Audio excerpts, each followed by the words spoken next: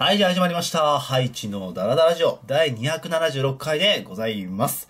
え今回テーマがですね、私の平成物語っていうとこなんですが、え下に色々言わなきゃいけないことがあるので、本編に入る前にちょこちょこっと話をしていきます。ただその前に、えー、確か3週間かな、えー、ダラダラジオお休みさせていただきました。本当はね、先週は撮ってたんですけど、ちょっとアップできなくていろいろ事情があってね、えー、ちょっと遅れてしまったんですが、やめたんですか？って結構言われたんですけど、やめてないんですね。勝手にあの、忙しくて撮れなかったってだけなんですが、遅くなって申し訳ありません。では、まず下から、オレンジのとこから行きましょう。えー、っと、出演状況、状況じゃない、情報なんですけど、えー、まあ、これを見てくださってるのがアップした日であれば3月31日なので、明日4月1日ですね、えー、NHK さんのおはよう日本という番組、朝の7時45分から8時の番組なんですが、えー、こちらに出演させていただきます。で、え、関東は映るんですけど、あと関東と一部地域の方のみになってしまうので、全国みんなではないんですが、えー、も初の NHK さんだっていうことと、えー、確かね、15分番組の中で5分ぐらい、えー、ワンコーナー全部、えー、自分の特集をしてくださるということで、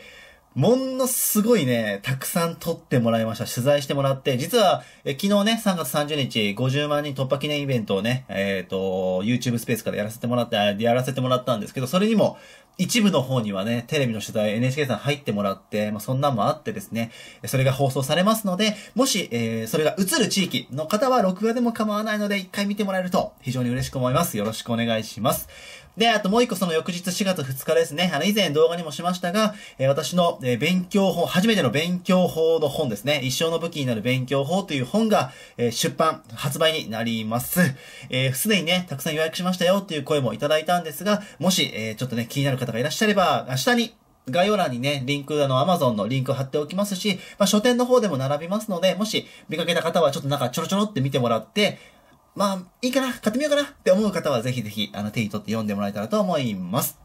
で、ごめんね、いろいろあって、右下です。赤のところお願いなんですけど、あの、毎年ですね、えー、この受験が終わった時期に、保護者の方とか保護者の方じゃないや、身近な人への感謝の思いをみんなにメールで送ってもらって、それを一つの動画にするっていうのを作ってたんですね。で、今年作らないんですか？ってずっと言われてたんですけど、もう3月が、えスケジュールが本当にこの34年間生きてきた中で一番忙しかったの。この1ヶ月が。で、どうしてももう集めても取れる余裕がなかったので、その全部昨日のイベントが終われば一段落つくから、それが終わってから募集かけようと思って遅くなってしまったんですが、募集させていただきます。で、ちょっと詳細書いてないので、口で説明するんでちょっと申し訳ないんだけど、えっ、ー、と、まあ、め、えっ、ー、と、送っていただくのはいつものアドレス。まあ、これも概要欄に書いておこう。いつもあの自分の公開してるアドレスの方に送ってください。で、えっ、と、今回はね、感謝と夢をちょっと集めたくって、自分よく夢を口に出せって言ってるので、で、感謝に関しては、例えば、お父さんに、お母さんに、先生に、まあ、塾の先生に、友達に、恋人にとか、いろいろあると思うのね。相手は、誰、いろんな人がいると思うので、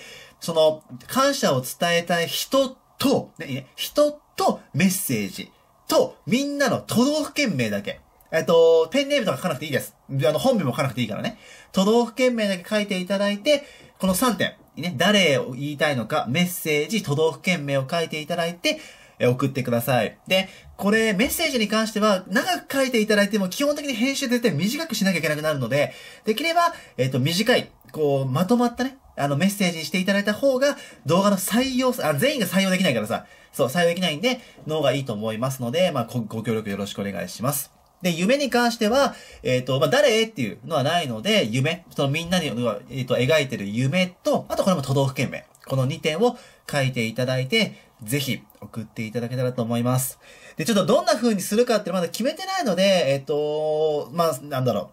う。いっぱい応募が来ると、物理的に全員採用できないっていうのはもちろん発生するんですが、動画の動画の内容的にもしかしたら夢の方を使わないっていう方が、ことが起こるかもしれないんですけど、もしよかったら、あの、あの、メアドの方にね、メールアドレスの方に、え感謝を伝えたい人がいれば、そのメッセージ、もしくはみんなの夢を、あの、自分にね、言ってくれる方は、ぜひ夢をね、自分の方に送ってください。よろしくお願いします。はい、ということで本編入る前に5分弱かかりました。サクッと行き行きたいとこなんですけど、えー、もうすぐで平成が終わります。新しい言語何になるんだろうなんてね、明日発表ですね、になっておりますが、まあ新しい言語はね、まあ出てきたら、おーって思う感じで終わりたいと思うんですけど、まあ平成、まあうちは昭和生まれなんで、あの平成をさね、30、ん？何年 ?31 年か。まあ、さっきフルじゃないけど31年ね、今生きてきまして、まあ、昔からね、学校で、まあ、いじめを受けてたりとかいろんなことがありましたけども、この平成の最後にですね、まあ3月末から忙しかったって話はさっきしたんだけど、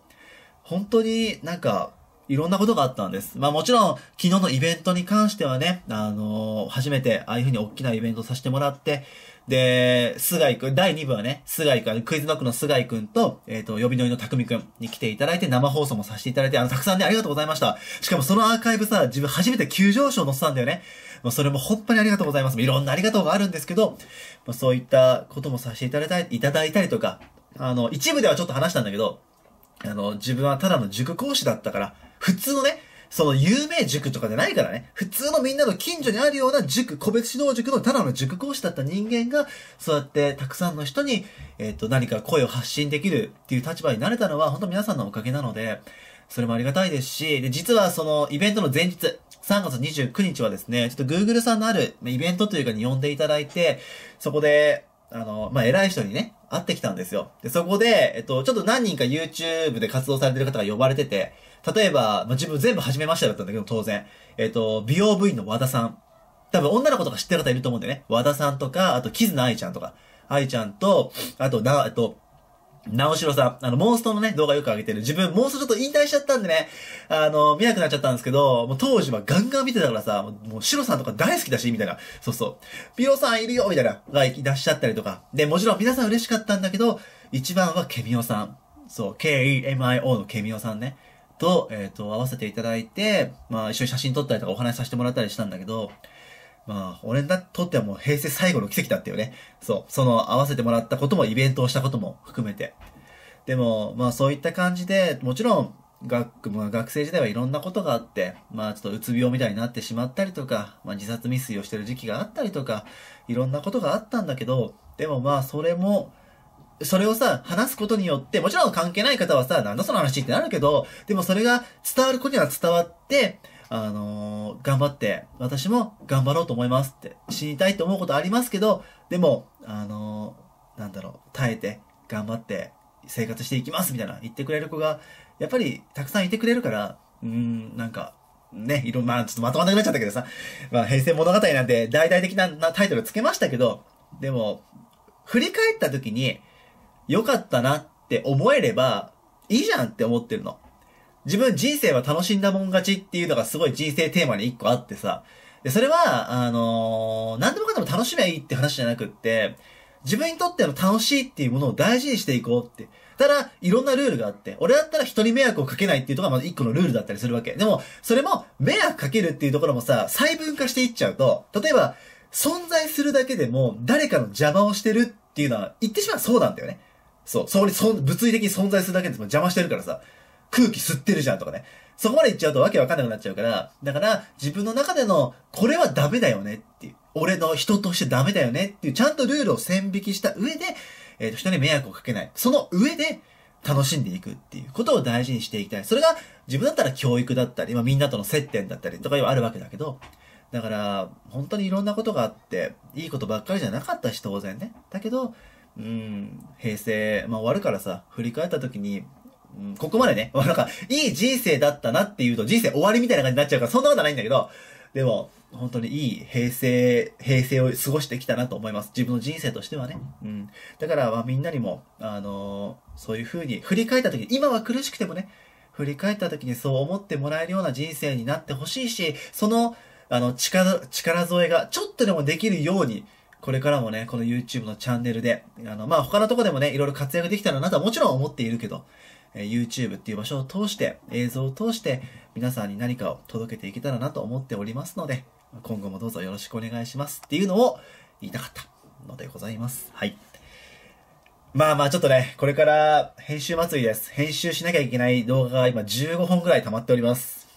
もう笑えないね。笑えないんだけども、まあ4月から、えっ、ー、と、もちろん、えー、勉強動画ね、やっとね、あのー、3月全然動画投稿できてないから、やっと勉強動画を撮れる時間が作れるので、また再開していって、で、まあ顔出しでみんなの相談答えたりする動画も撮るし、で、あの、コラボ動画もね、あの、ちょこちょこ撮ってたりあるので、そんなも投稿しながら、今年もいろいろとね、やっていきますので、全部が全部見てくれなんてさらさら思ってないの。いろんなものがあるから。だって、中3の動画ポンって投稿して、高校生見る必要ないと思うし、もちろん復習で見てくれるかもしんないけど、ね、小6の子が見る必要はないじゃん。予習じゃなければさ。だから、該当するもの、自分が興味持つものだけで構わないので、ぜひぜひ、このチャンネルの何かを、あの、人生のどっかの、なんだ、みんなのね、パズル、みんなの人生のパズルのワンピース、一つのピースで構わないんで、入れてもらって、なんか、過ごしていってもらえたらと思います。